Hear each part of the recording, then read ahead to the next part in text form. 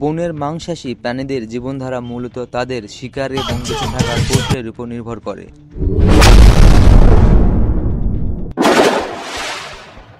চিতাবাঘ তার বুদ্ধিমত্তা এবং শিকার দক্ষতার জন্য পরিচিত।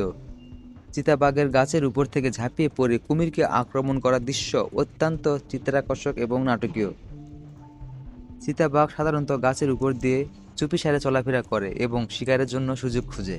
এদিকে কুমির সাধারণত জলাশয়ে বা তার আশেপাশে অবস্থান করে।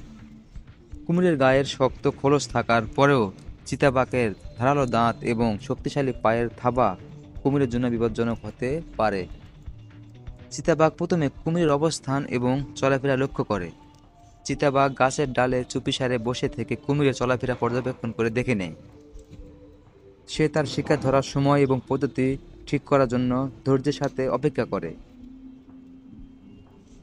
যখন কুমিরটি পানির ধারে বা পানির মধ্যে একটু অগভীরে থাকে এবং শিকারের জন্য উপযুক্ত অবস্থানে আসে, চিতাবাঘ তখনই তার আক্রমণের পরিকল্পনা কার্যকর করে। চিতাবাঘ গাছের ডালে সতর্কভাবে এবং নির্ভুলভাবে অবস্থান নেয় যাতে আক্রমণের সময় সঠিকভাবে ঝাঁপিয়ে পড়তে পারে। চিতাবাঘ আচমকা গাছের উপর থেকে ঝাঁপিয়ে পড়ে এবং তার ধারালো থাপা দিয়ে কুমিরকে ধরে ফেলে।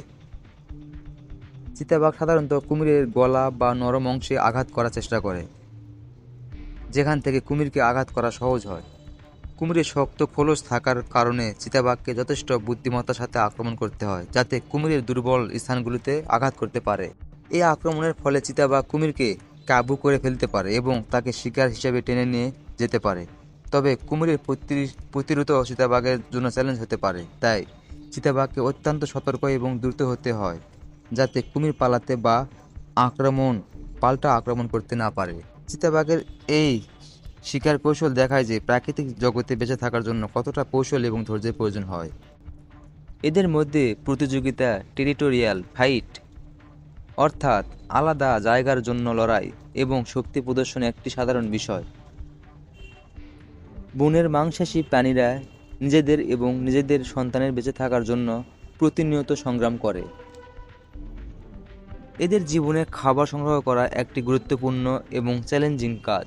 প্রাকৃতিক নির্বাচনের মাধ্যমে এরা শিকার ধরার এবং টেরিটরি রক্ষার জন্য বিভিন্ন কৌশল রপ্ত করেছে।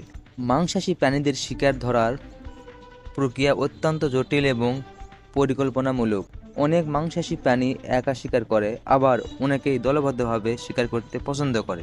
যেমন ধরুন, সিংহেরা সাধারণত দলের মধ্যে শিকার করে এবং এদের শিকারের একটি বিশেষ কৌশল থাকে।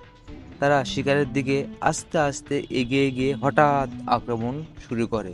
মাংসাশী প্রাণীরা তাদের টেরিটরি বা আবাসস্থল রক্ষার জন্য অত্যন্ত সক্রিয় থাকে। টেরিটরি রক্ষা করা মানে সেখানে পর্যাপ্ত খাদ্য সংস্থান নিশ্চিত করা এবং নিরাপত্তা রক্ষা করা। এ কারণে এদের মধ্যে প্রায় লড়াই দেখা যায়। বাঘ, সিংহ এবং চিতা এদের মধ্যে টেরিটরি রক্ষার জন্য বিভিন্ন ধরনের কৌশল ব্যবহার করে। যেমন, এরা গাছে মাটিতে এবং পাথরে মলমূত্র এবং গন্ধ চিহ্ন রেখে যায়, যা অন্যদের জন্য সতর্ক সংকেত হিসাবে কাজ করে। প্রাণীরা নিজেদের শক্তি প্রদর্শন করে প্রতিপক্ষকে ভয় দেখানোর চেষ্টা করে। এদের মধ্যে সিংহ, বাঘ এবং গরিলা নিজেদের শক্তি প্রদর্শন করে প্রতিপক্ষকে তাড়িয়ে দিতে চেষ্টা করে। এই ধরনের প্রদর্শনীতে গর্জন গায়ে গায়ে সংঘর্ষ এবং আক্রমণের ভঙ্গিমা প্রধান ভূমিকা পালন করে। মাংসাশী প্রাণীদের মধ্যে লড়াই প্রায় গুরুতর আঘাত বা মৃত্যুর কারণ হতে পারে। এ ধরনের লড়াইয়ের ফলে কখনো কখনো দুর্বল প্রাণীটি এলাকা ছেড়ে চলে যেতে বাধ্য হয় এবং অন্য কোথাও খাদ্যের সন্ধান করতে হয়।